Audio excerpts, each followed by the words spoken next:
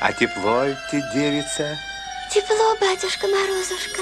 Не замерзнуть – цель номер один на новогоднюю ночь. Тем, кто встретить ее собирается на уличных гуляниях, стоит достать из гардероба самые теплые вещи. В новогоднюю ночь температура воздуха будет э, в основном по территории области 14-19 градусов.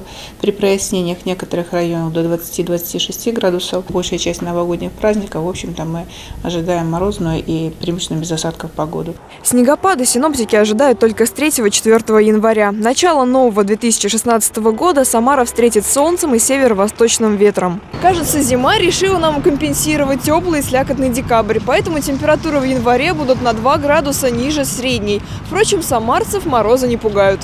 Дом будем играть с детьми в игры настольные, телевизор смотреть, кушать.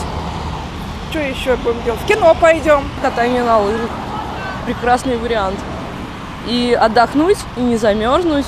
Прыгать вот так, ручки потирать. И весело фейерверк пускать.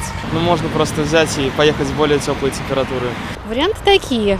Хорошая компания, веселое настроение и мысли о только самом хорошем. Потому что сон возвращается. Главное с любимым человеком, чтобы согрела любовь. Ну и отопление посильнее включить. Какие бы цифры ни показывал термометр, согреться поможет теплая компания близких и любимые зимние забавы. Валерия Макарова, Дмитрий Мешканцов. События.